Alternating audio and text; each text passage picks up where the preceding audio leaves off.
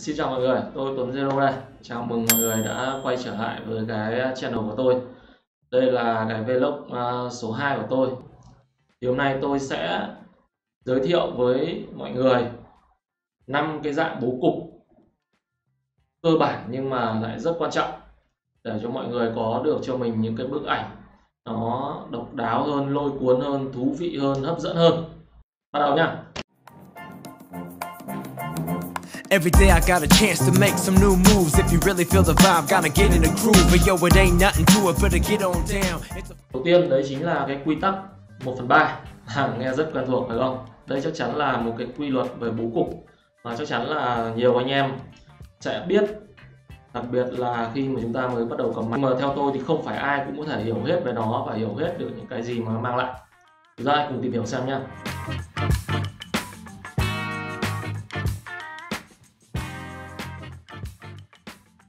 Theo quy tắc này thì bức ảnh sẽ được chia thành một cái mạng lưới 3 x 3 với 9 cái phần bằng nhau, hai đường kẻ dọc và hai đường kẻ ngang.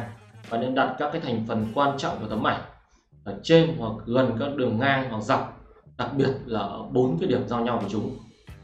Nếu như trong ảnh có đường chân trời thì nên đặt cái đường chân trời trùng khớp với một trong hai đường ngang hoặc ít nhất là song song với nó. Quy tắc này được cho là định hướng mắt nhìn rất là tốt giúp cho những người xem ảnh tập trung vào chủ thể. Nhìn bức ảnh nó sẽ lôi cuốn hơn, tự nhiên hơn, sống động hơn. Vì khi xem ảnh thì mắt của chúng ta thường có cái xu hướng là nhìn sang các bên của một tấm hình. Ví dụ như tấm ảnh này, chủ thể là cặp đôi thì được đặt vào cái vị trí giao điểm giữa hai cái đường gióng. Còn đường tàu thì đặt dọc theo cái đường ngang bên dưới. Đấy chính là cái đường chân trời luôn nhìn chung là tùy vào cái đối tượng hoàn cảnh chụp ý đồ nên không nhất thiết phải chính xác vào đúng giữa các giao điểm hay trùng khớp hoàn toàn với những cái đường kẻ. Thực tế thì bạn không nhất thiết phải tuân thủ quá chính xác. Chúng ta hoàn toàn có thể tăng độ rộng của các đường kẻ và bạn chỉ cần đưa cái chủ thể của mình vào các cái khu vực đấy là được. Trên những cái máy ảnh ngày nay ấy, thì ờ, cái khung ngắm sẽ có những cái đường chia mờ 3 x 3 như thế này đúng không ạ? Để giúp cho chúng ta dễ dàng hơn khi bố cục nhưng mà theo cái lời khuyên của tôi thì bạn cũng không nhất thiết phải quan tâm đến điều đó quá nhiều. Bạn cứ tự chia ra trong đầu rồi sắp xếp cái chủ thể theo cái quy tắc này. Sau này mà khi mình đã quen dần thì điều này sẽ gần như trở thành một cái phản xạ của mình. Chúng ta không nên để bị giới hạn bởi những cái khung ngắm chia sẵn đó vì còn rất nhiều những cái dạng bố cục khác nữa. Và có nhiều cái bố cục nó sẽ có cái xu hướng là nó sẽ trái ngược nhau nên nếu bạn chụp với khung ngắm có đường chia 3 x 3 thì sẵn thì vô hình chung rất có thể là bạn sẽ bị cứ phải ép theo cái dạng bố cục như vậy. Bạn hiểu ý tôi không? Nói qua một chút nhá, à, có rất nhiều ý kiến cho rằng cái quy tắc 1 phần 3 này xuất phát từ cái tỷ lệ vàng rất là nổi tiếng được dựa theo cái dãy số um, phi b phi 3 Fibonacci. Đúng không ạ? À, các bạn có thể tìm hiểu thêm uh, ở trên trang web này.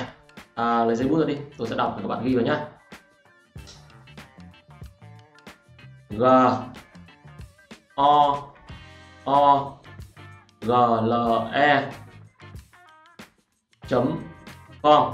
À, thực ra tôi nghĩ um, cái vấn đề nó không quan trọng lắm nên tôi sẽ không uh, nói sâu hơn về cái tỷ lệ vàng này ở đây bởi vì uh, theo những gì mà tôi tìm hiểu thì là cái tỷ lệ vàng này nó cũng không thực tế lắm.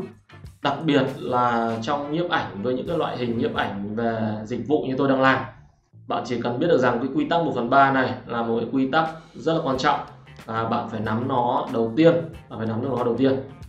À, nó sẽ giúp chúng ta à, xử lý những cái bức ảnh nó chắc chắn hơn khoa học hơn và bắt đầu xây dựng những cái ý đồ đầu tiên cho anh em mình. Và nó cũng là cái khởi nguồn để chúng ta phát triển được những cái dạng bố cục khác sau này. Bây giờ tôi sẽ giới thiệu đến cái dạng bố cục số 2 Đây là một cái dạng bố cục cũng rất rất rất cơ bản mà gần như hầu hết những người mới cầm máy đều dùng. Đấy là bố cục trung tâm.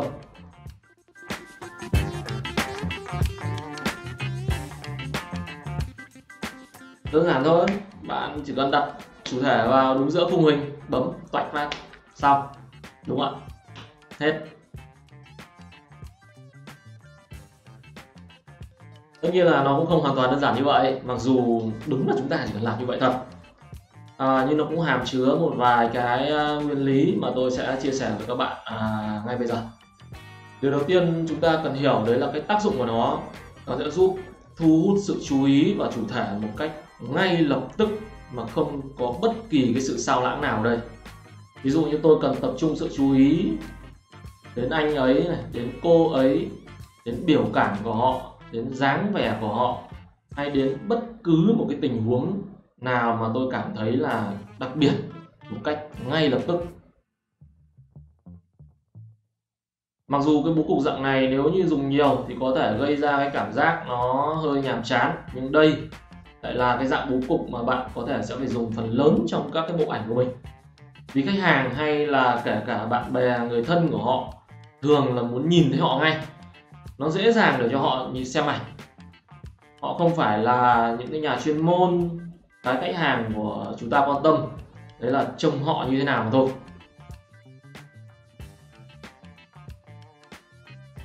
Cái bố cục dạng này rất phù hợp để chụp từ ờ, trung cảnh cho đến cận cảnh nhưng vẫn có thể áp dụng được cho toàn cảnh, tùy từng cái tình huống, tùy từng cái bối cảnh mà chúng ta xây dựng.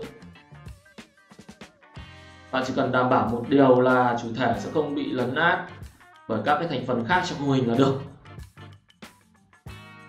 Nên là hãy chọn lọc những cái bối cảnh đơn giản hoặc dùng những cái tiêu cự dài hay khoảng cách đứng nó hợp lý để chúng ta có thể sử dụng được cái hiệu ứng bokeh xóa phông đấy.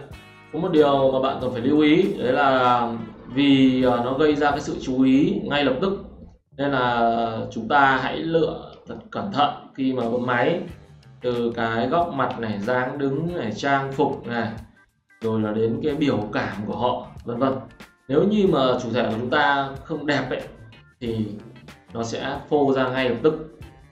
Nên là hãy đảm bảo cái đối tượng chúng ta chụp chủ thể của chúng ta phải đẹp hoặc là có một cái điều gì đấy đặc biệt nó đang diễn ra chẳng hạn ví dụ như là họ đang trao nhau ánh mắt à, đắm say họ đang trao nhau một cái ôm hay là họ đang à, có một cái nét duyên gì đấy họ đang cười một nụ cười tỏa nắng vâng bất kỳ điều gì đấy mà bạn cảm thấy nó đặc biệt. Dạng bố cục tiếp theo dạng bố cục số 3 mà tôi sẽ giới thiệu đến cho mọi người đấy chính là cái bố cục đối xứng.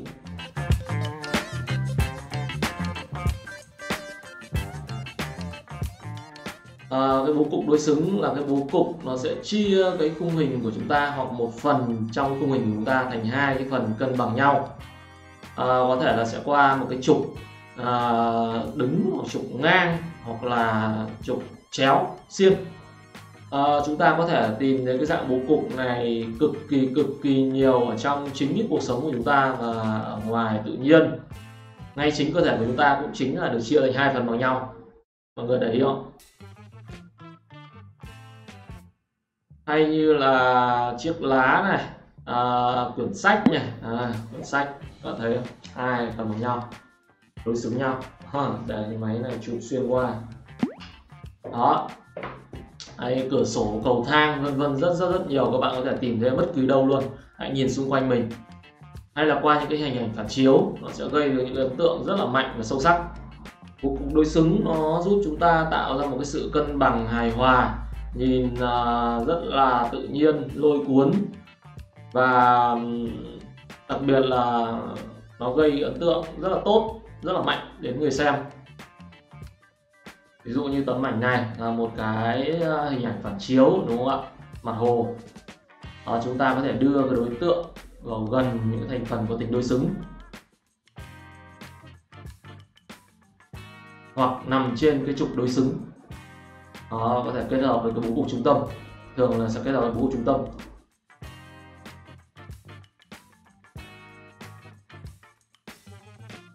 Hãy tận dụng những cái mặt phản chiếu như là mặt nước này mặt hồ mặt kính. Có rất nhiều luôn.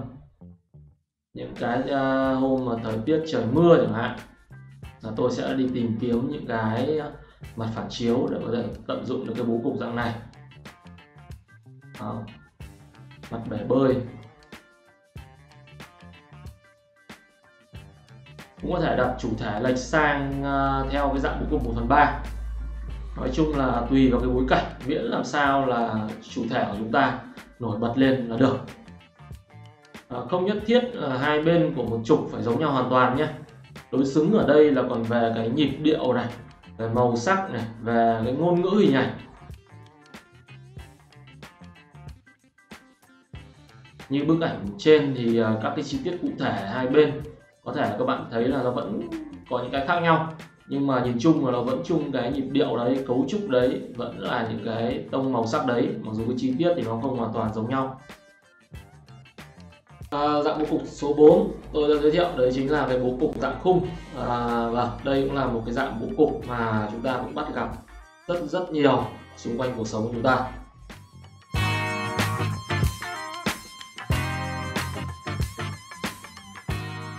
Đơn giản là bạn chỉ cần à, đưa cái chủ thể vào một cái khung.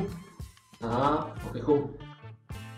Đó có thể là những cái kiểu như là mái vòm này ô cửa này ô cửa sổ này à, hay là qua những cái bụi cây hay là qua những cái lỗ hay là những cái khe. Khung nó có thể là bất cứ cái hình dạng nào vuông tròn chữ nhật tam giác. Nhìn chung là nó bao quanh chủ thể nhưng mà cũng không nhất thiết là phải bao kín nhé nó có thể là qua cái tấm gương như này. À, hoặc là khung được tạo ra bởi các cái đường bao quanh. Là cái bờ kè và chân dãy núi như cái tấm ảnh này. Đó, đôi khi là chúng ta phải phát huy cái trí tưởng tượng của mình một chút. Khung cũng có thể được tạo ra bởi các cái tán cây như thế này và có thể là bất cứ cái hình dạng nào đúng không? Đó cũng không nhất thiết nó phải bao kín chủ thể. Như cái bức ảnh bạn các bạn đang xem ở đây. Bố cục dạng khung giúp hướng cái sự chú ý rất mạnh mẽ đến chủ thể. Um, và nó giúp cho chúng ta lọc bỏ bớt những cái rác rồi là những cái phần không gian nó trống trải. Và đặc biệt là giúp uh, khắc họa cái chiều sâu của cái khung cảnh. Rất là tốt.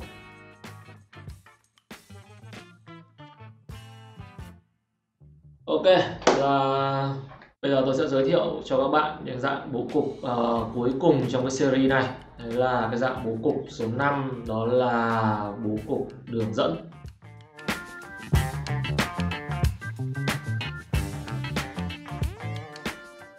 Đây là cái dạng bố cục được tạo ra bởi các cái đường uh, cụ thể như là những cái con đường này à, hàng cây này ừ, rồi là dây điện rồi là cầu thang à, vân vân vân vân. Đây cũng là một cái dạng bố cục cũng xuất hiện rất nhiều rất nhiều. Anh em cứ tự tìm xung quanh xem rất nhiều. À, các cái đường các cái đường dẫn nó sẽ dẫn thẳng hướng trực tiếp đến cái thành phần chính trong bức ảnh của chúng đến chủ thể của chúng ta. Nó có thể là đường thẳng đường cong hoặc là những cái dạng đường zigzag rắc và nó có thể xuất phát từ bất cứ cái vị trí nào à, tùy thuộc vào cái ý đồ của chúng ta thôi. À, bố cục dạng này giúp điều hướng cái mắt nhìn của người xem một cách rất là dễ dàng giúp họ tìm được cái nhân tố chính trong cái tấm hình rất là nhanh chóng. Và nó tạo ra được cái mối liên kết rất là chặt chẽ giữa các cái thành phần ở trong bức ảnh với nhau. Ví dụ như ở đây thì hàng cây chính là cái đường dẫn trong bức ảnh đó, nó hướng mắt người xem rất là nhanh chóng đúng không? Dễ dàng. Đến thẳng chủ thể là cái cặp đôi ở cái cuối. Có cái, cái đường dẫn này. Với những cái đường dẫn mà thẳng ấy thì theo tôi thì chúng ta không nên đặt cái chủ thể vào giữa đường. Nó sẽ gây ra cái cảm giác nó bị ờ, đứt đoạn. Mà nên đặt ở điểm đầu hoặc là điểm cuối đường đấy.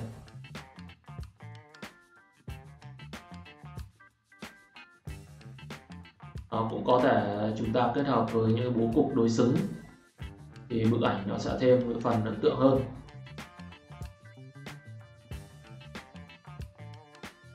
Có thể là nhiều cái đường nó tụ lại như này. Đó, chúng ta đơn giản là đặt chủ thể ở cái điểm tụ.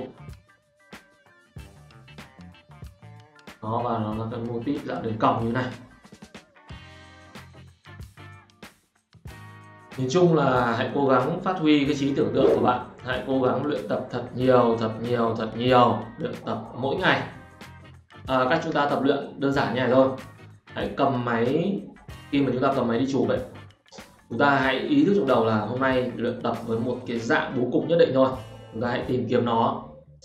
Những cái dạng bố cục mà tôi vừa trình bày cho các bạn trên đấy đấy là những cái dạng bố cục nó rất chi là cơ bản và chúng ta có thể dễ dàng tìm thấy nó ở xung quanh chúng ta xung quanh cuộc sống hàng ngày của chúng ta. Tự nhiên rất nhiều. À, hãy luyện tập thật nhiều hãy tìm cách kết hợp các cái dạng bố cục lại với nhau rồi dần dần nó sẽ trở thành một cái phản xạ vô thức của bạn. À, từ khi mà bạn quen thuộc với nó thì là chúng ta cầm máy chúng ta chụp chúng ta sẽ không cần phải nghĩ quá nhiều nữa. Nó thành cái phản xạ rồi mà. Còn bây giờ thì tất nhiên là sẽ bạn sẽ phải hơi đau đầu một chút các bạn nghĩ. Nhưng mà tôi cho rằng nó rất xứng đáng. Có thể có nhiều cái ý kiến cho rằng uh, việc học những cái nguyên tắc như thế này thì nó không được uh, thoải mái nó không được sáng tạo. Làm nghệ thuật thì phải thật sáng tạo phải thật thoải mái. Rồi là cần gì phải học những cái nguyên tắc như thế này nó gò bó nó cứng nhắc. Đi chụp nhiều giết rồi nó cũng quen thôi. Nhưng tôi nói thật với các bạn là như này khi mà tôi bắt gặp những ý kiến như vậy và tôi bấm vào tôi xem cái bức ảnh của họ thì đều có thằng nào chụp đẹp hết. Nên là lời khuyên của tôi ấy, việc học những nguyên lý những nguyên tắc cơ bản nó là bắt buộc. Nhiếp ảnh nó là bộ môn của nghệ thuật khoa học và bây giờ nó là kết hợp cả yếu tố công nghệ nữa. Đó. Hãy học chắc những thứ cơ bản rồi sau đó chúng ta mới có thể tự do chúng ta phá bỏ nó à, cũng giống như việc chúng ta xây một ngôi nhà ấy. thì chúng ta phải xây một cái phần móng nó thật chắc chắn đúng không? Những cái khung sườn thật chắc chắn. Thì sau đó bạn có thể thoải mái các bạn sáng tạo những cái kiểu mẫu kiến trúc khác nhau mà không sợ ảnh hưởng đến các cái kết cấu của nó đúng không? Đây là năm cái dạng bố cục mà cơ bản. Và tôi tin rằng nếu các bạn có thể nắm vững được nó thì các bạn cũng rất là thoải mái các bạn sáng tạo ra những cái khung hình những cái bức ảnh nó rất là ấn tượng hấp dẫn thu hút được người xem. À, còn à, rất nhiều những cái dạng bố cục khác nữa mà tôi sẽ dần dần giới thiệu với các bạn ở những cái ờ, video sau. Cảm ơn các bạn đã theo dõi. Nhớ bấm like và sub kênh của tôi nhé.